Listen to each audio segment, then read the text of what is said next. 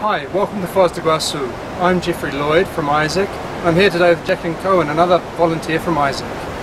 Hi, today we are going to present a course that will be held here, known as Bioenergies at the Waterfalls. So here in this beautiful location in southwest Brazil, we have the immense Iguaçu waterfalls. And this is also a UNESCO World Heritage Site which attracts more than 1 million people every year. Not only is the waterfalls one of the largest in the world, it is also surrounded by a rich array of flora and fauna and contains one of the Earth's chakras. These are large and potent sources of bioenergies and it has a rich supply of a specific type of energy known as geoenergy which comes from the ground. It has great regenerative and curative functions. So beyond the chakra that we have here, we also have other types of bioenergy. For example, hydroenergy, the waterfalls here are made up of 275 different waterfalls and every second 1.5 million litres of water pass through the waterfall. Phytoenergy.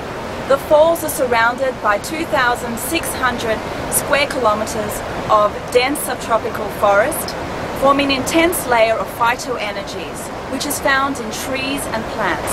And zooenergy, which comes from the animals in the environment, such as the Matero deer, the yellow caiman, the tapir, the capybara, the coati and the jaguar, which is the third largest feline in the world after the tiger and the lion.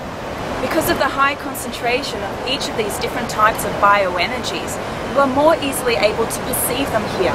And that is why it is the perfect location for holding this event at the International Week of Conscientiology. So this is an event for everybody and uh, we want to help people become more aware of their multidimensional nature and we can do this through the perception of bioenergies. So now we will be joined by Roberto Leiming, a biologist and consciousness researcher who will be guiding this activity and he will share with us a little bit about what this course is about. Hi there, we are here in this special place to try, test and experiment different kinds of energy.